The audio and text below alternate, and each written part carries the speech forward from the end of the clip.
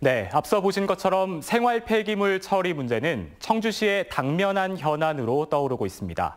인구 85만 명의 청주시가 100만 명이 넘는 도시보다 훨씬 더 많은 쓰레기를 배출하고 있기 때문인데요. 보다 실효성 있는 정책적 대안 마련이 필요하다는 지적이 나옵니다. 이어서 정진규 기자입니다. 85만 청주 시민이 배출하는 생활 폐기물은 하루 1000톤이 넘습니다. 100만 명이 생활하는 용인시와 고양시보다 30%가량 더 많고 120만 명의 수원 시민이 배출하는 양과 비슷한 수치입니다. 실제로 청주 시민 한 명이 버리는 생활 폐기물은 하루 1kg이 넘는데 이는 전국 최상위권에 속합니다.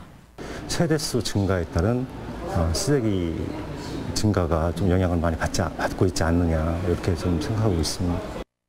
이에 청주시도 생활 폐기물 저감을 위한 각종 정책을 시행하고 있습니다.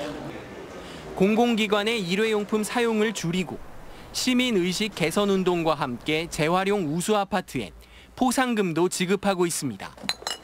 하지만 특별한 효과가 나타나지 않는다는 게 문제입니다. 실제로 올해 재활용품 등을 제외한 생활 폐기물 배출량은 지난 3년과 큰 차이가 없습니다. 1인 가구 증가와 배달 문화 확산에 따른 생활 폐기물 증가를 막기 위해 보다 실효성 있는 대책이 필요하다는 지적이 나오는 이유입니다. 시민들이 덜 버려야 된다라고 시민 탓만 하는 게 아니라 청주시에서는 시책을 좀 더 근본적으로 그 청소행정에 대해서 제고가 필요하다고 봅니다.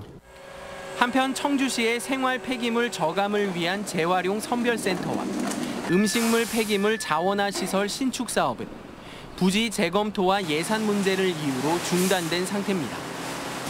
CJB 뉴스 정진규입니다.